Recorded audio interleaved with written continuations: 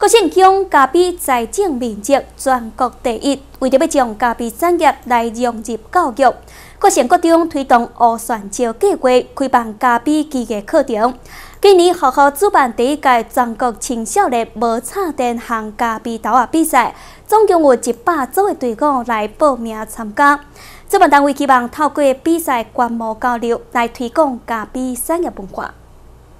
第一届全国青少年无插电的咖啡行头比赛，总共有来自全国一百个队伍，有带专生组队进来，毛老师带学生来参加。呃，觉得蛮有意义的，因为学生可以学到很多，然后带他们一起来跟别人一起竞赛，是个很不错的一个，我觉得这是很棒的活动。很紧张，所有的。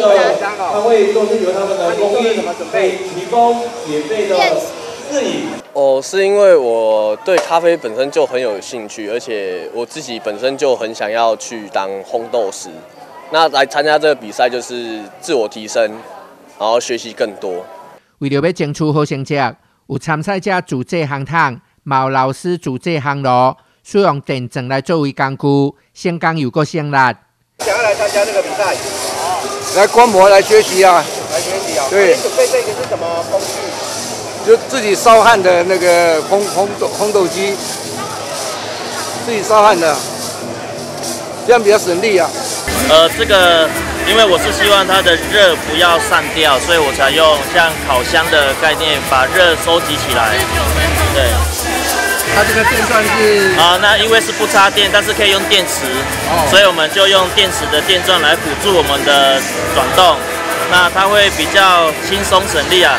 国姓乡咖啡在前的面积全国第一，学校将咖啡产业来个融入教育。主办单位希望透过比赛，熟悉咖啡产业文化，学有所用。有阿公带孙仔来的，有爸爸带后生来的，有妈妈陪囡仔来的，啊，有兄弟党的都有。那其实让人家是非常感动的。那尤其我们今天来的来宾真的冠盖云集，然后为了什么？为了就是希望。呃，看见我们青少年他的学习可以跟他的生活连接在一起，不要再有学用落差，对我们学校教育是非常支持的。今天办理这个活动哈，有两层意义。第一层意义就是让我们的咖啡这个产业哈，在台湾更有能见度。